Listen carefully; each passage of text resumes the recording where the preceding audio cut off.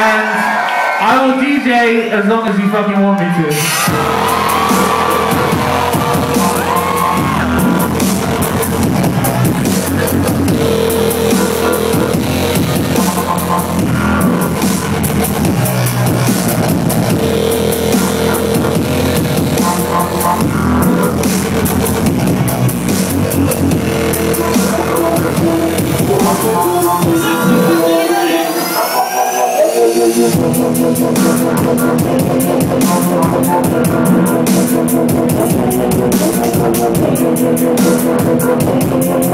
I'm